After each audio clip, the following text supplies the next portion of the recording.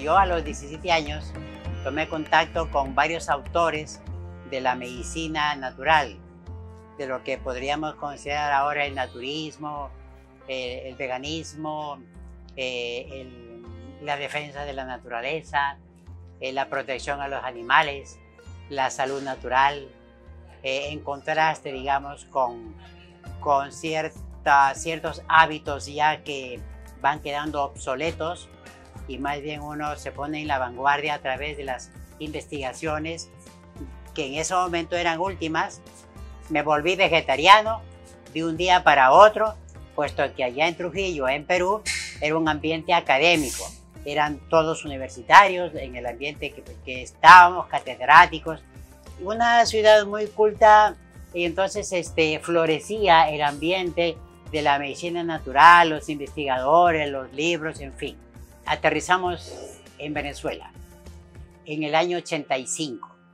Ocurre algo interesante, pues porque ese año yo me enamoro de una, de una, muchacha, surgió ese, ese pase y yo al año 90 ya me instalo en el, aquí en, en Venezuela y bueno, hicimos una familia. Las condiciones se dieron, tanto familiares, económicas, tema país. Y el año 95 conseguimos en alquiler esta, esta quinta y, y, decidimos, vamos a poner un restaurante vegetariano, porque en esa época habían varios. Florecían las tiendas naturistas.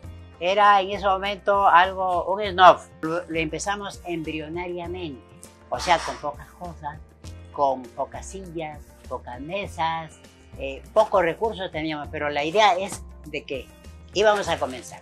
Bueno, eh, eh, luego fue evolucionando como todo lo que se crea, ¿verdad? Evoluciona.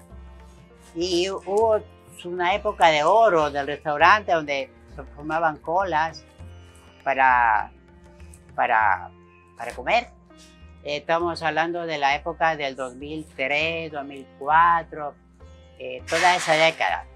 Así surgió, digamos, aquí vendíamos muchísimas cosas para mencionar. Teníamos galletas integrales, eh, empanadas, tortas, eh, tostadas, todo era horneado.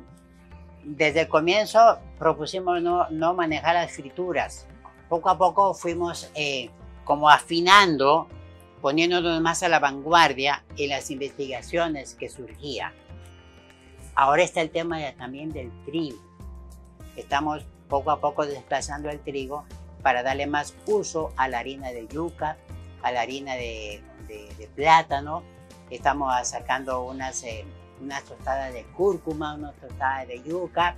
Eh, esas son propuestas que dentro del manejo culinario vegetariano y naturista se puede, pero tiene que haber de por medio invento y creatividad. Se come de rico, sabroso y sano. Actualmente, em, el menú se, ha centrado en un solo menú diario, ¿sí? Que el estilo se repite semanalmente, pero siempre va variando los, los platos principales, ¿sí? O sea, es como que decir, una persona llega y hay un solo menú eh, que se ofrece, ¿sí? Puede opcionalmente haber lo de las hamburguesas, las empanadas, ¿sí?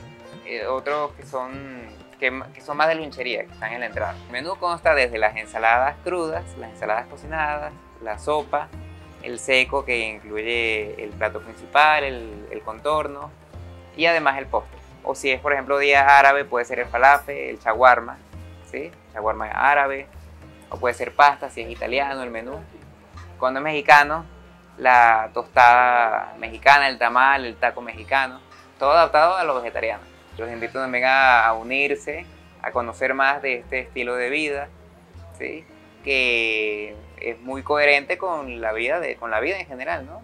porque no solamente la salud de la persona, ¿no? sino también eh, la vida a, todos los seres vivientes. ¿sí? O sea, eh, por un lado la salud, la ética, la ecología, ¿sí? son como los tres pilares.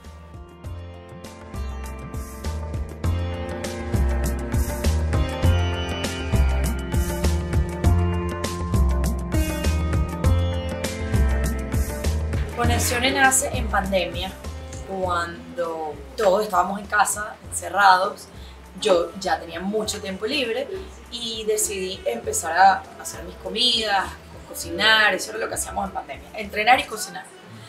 Bueno, y resulta que este, todo el mundo venía a mi casa, probaba y me decía, Nicolás, esta comida es divina, tú tienes que venderla, por favor, si sea delivery, por favor, por favor.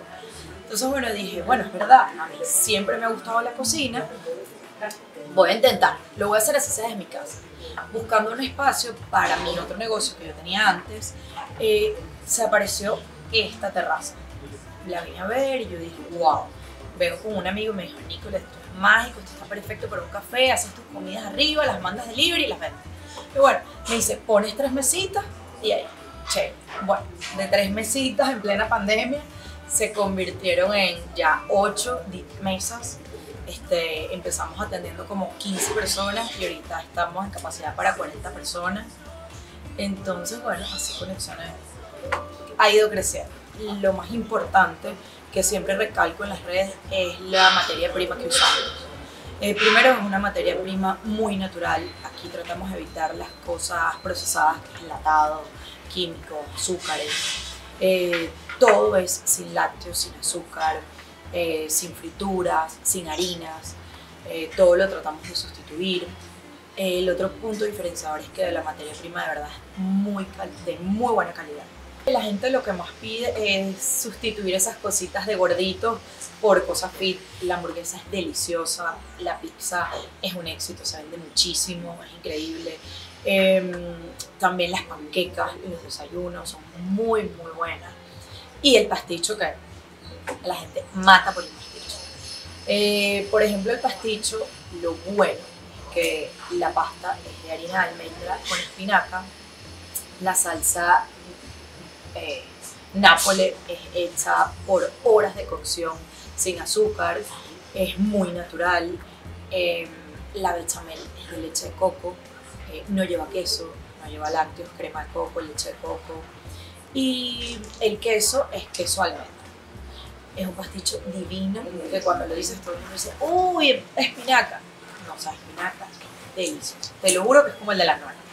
En pandemia, literal, yo todas las dietas de la nona, de gorditos, de lo que comía, lo fui sustituyendo. O sea, así mismo. Mira, quiero hacer un pasticho. Y yo decía, quiero comer pasticho, o sea, quiero algo rico. Nada, bechamel, yo tengo que inventar. Y así fui inventando y es más, cuando yo traigo el menú con un chef que le digo, mira, esto es lo vamos a hacer, bechamel no va a empezar sin eso. Si va a empezar, en mi casa empieza, aquí empieza.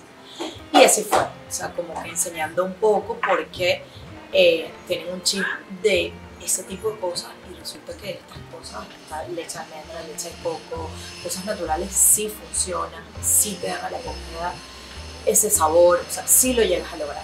Desde pequeña fui muy deportista, en mi casa me inculcaron mucho hacer deporte y bueno, esta vida la vengo haciendo como desde los 15, empecé el gimnasio a entrenar y bueno, ya como a los 20 empecé en este mundo.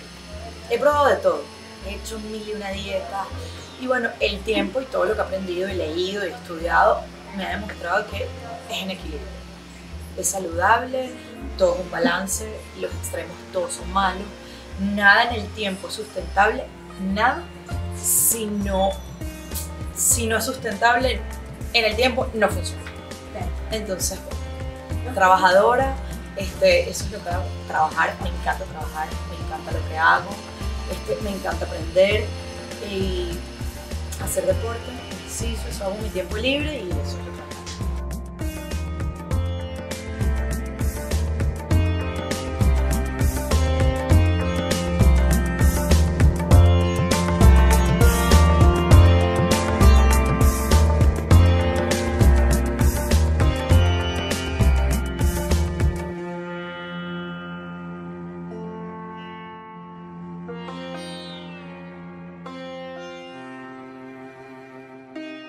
Yo soy vegetariano, entonces yo siempre eh, vi que existía una falta de restaurantes de comida vegetariana de nivel, de nivel de comida gourmet.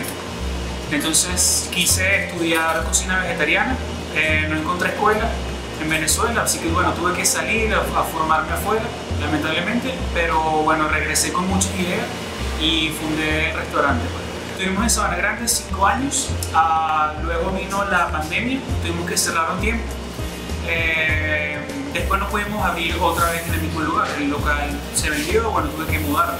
Así que bueno, fue una oportunidad para venir acá a esta zona que, bueno, incluso estoy mejor ubicado que antes porque toda mi clientela era más o menos de esta zona. Entonces, bueno, ahora estoy mejor ubicado. Todavía estamos en los palos grandes. La comida hindú vegetariana tiene mucha tradición, o sea, son miles, miles de años de tradición y de repertorio gastronómico. Y la idea de ir a la India era precisamente ir a recoger toda esa tradición que ya existe y, bueno, darla a conocer. Entonces, eh, sí, la ha habido muy buena acogida desde el principio, la gente le encantaba la... Bueno, hay muchos platos que se ven, porque nuestros platos son platos de degustación, son de 7, 8 preparaciones diferentes, ¿no? Eh, bueno, hay muy populares, como por ejemplo el arroz de coco, hay un arroz de coco con maní tostado que van a probar, que, siempre está presente. Las sopas son, se venden mucho, son sopas, eh, las samosas, que son una especie de empanaditas eh, crocantes eh, tradicionales de la India que son muy populares y que se venden mucho. Hemos logrado adaptar la comida de la India con los ingredientes que se consiguen en Venezuela y por eso hemos podido sobrevivir. Es un viaje de sabores, de texturas, de colores nosotros nos adaptamos al paladar del venezolano. De todas formas, para aquellos que lo soliciten pueden comerlo de la manera tradicional. O sea, que eso implica, bueno, a veces bastante picante, ¿ok? Pero eso lo podemos eh, regular dependiendo de, la, de las solicitudes del comensal.